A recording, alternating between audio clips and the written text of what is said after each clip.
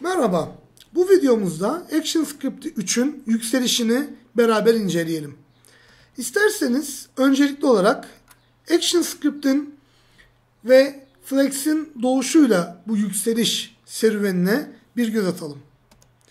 Adobe 2006'nın Temmuz ayında Flex'i yayınladığında yeni bir programlama dili de dünyaya geldi. ActionScript 3.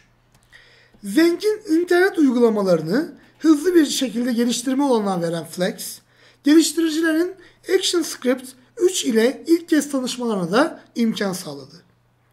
ActionScript 3 kodlamasının yapılabildiği iki platformdan biri olan Flex, gerek Flash Builder ya da Flex Builder gibi kendi geliştirme ortamını kullanan ürünler ile gerekse de gelişti yani SDK'lar sayesinde farklı platformlarda kullanılabilmekte.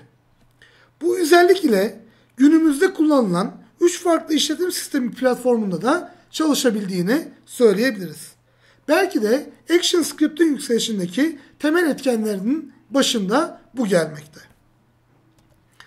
Şimdi ActionScript'in 3. versiyonuyla beraber farklı geliştirme ortamlarının da ortaya çıktığını ifade edebiliriz. Bunlardan bir tanesi Flex Builder'ın dönüşümüyle Flash Builder olarak artık kullanılmaya başlanan Flash Builder 4. Adobe Flash isminin daha fazla popüler olmasından yararlanmak istedi ve iki farklı proje olarak ActionScript 3 ve Flex'i yürütme kararı aldı. Bunlardan bir tanesi Flash Builder olarak devam etmekte ve ticari bir aslında lisansa sahip olmakta. Bir diğeri ise Flex platformu üzerinde Linux'ta Flex Builder ve Flex SDK olarak da yine açık kaynak kodlu ve kullanılabilir bir halde bir çalışma şekli olarak karşımıza çıkmakta. Şimdi Flex 4'ün SDK'sına da baktığımız zaman örneğin Eclipse gibi bir IDE üzerinde rahatlıkla bu SDK'nın yapılandırılıp kullanılabildiğini gözlemlemekteyiz. Bu anlamda hem Macintosh hem Linux hem de Windows ortamında rahatlıkla çalışılabilmekte.